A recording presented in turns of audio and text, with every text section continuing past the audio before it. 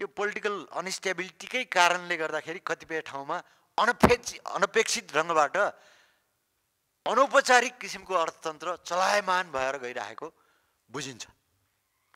त्यो भनेको के त? अब लोकल इलेक्सन छ भनेको छ। उनीहरूले पैसा जम्मा गर्नुपर्ने भयो। जम्मा गर्नुपर्ने भएपछि विभिन्न किसिमका स्रोत र उसबाट चाहिँ मोबिलाइज गर्ने क्रममा त्यसरी आएको पैसा न त्यो ब्याङ्किङ सेक्टरमा जान्छ के हुन्छ?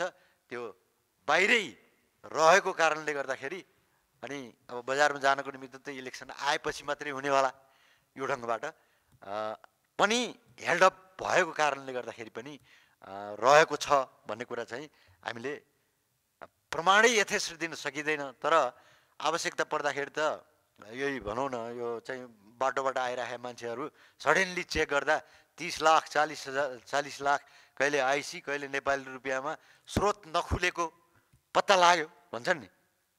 नगद त्यस्तो किसिमको कारोबार नहुने भएदेखि त्यो पनि लाग्न सक्ने अवस्था नहुने थियो होला नि त।